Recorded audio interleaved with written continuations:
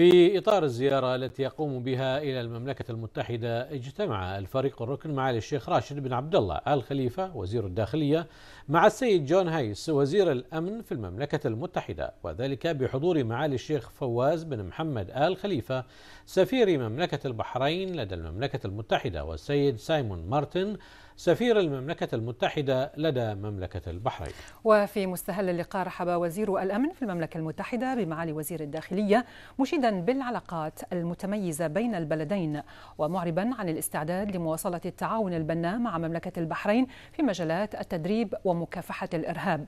وقد أشاد معالي وزير الداخلية بالعلاقات التاريخية والوثيقة بين مملكة البحرين والمملكة المتحدة والتي تعد أرضية جيدة لتعزيز التعاون والتحرك بشكل متقدم في مجال مواجهة التهديدات ومكافحة الإرهاب مضيفا أن التنسيق الأمني بين البلدين تاريخي وليس بالأمر الجديد. وقد اتفق الجانبان على تشكيل فريق عمل مشترك للعمل على مواصلة تنفيذ بنود الاتفاقية الأمنية في مجالات أمنية متخصصة بهدف تطوير القدرات ورفع كفاءة العاملين في العمل الشرطي بما يسهم في تعزيز الجهود الهادفة إلى حفظ الأمن. وقد تم خلال اللقاء بحث مجالات التعاون والتنسيق الأمني وفق تطويرها في إطار التحديات الراهنة كما تم بحث عدد من الموضوعات ذات الاهتمام المشترك.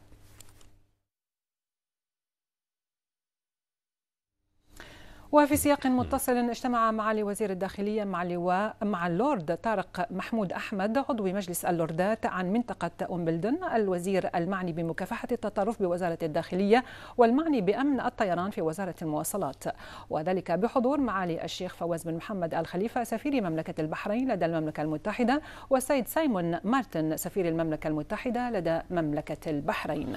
وقد أشاد اللورد أحمد بالخطوات الإيجابية التي تقوم بها مملكة البحرين ومواصلتها نهج الإصلاح الشامل بقيادة جلالة الملك معربا في الوقت ذاته عن اعتزازه بعلاقات الصداقة التي تجمع مملكة البحرين والمملكة المتحدة.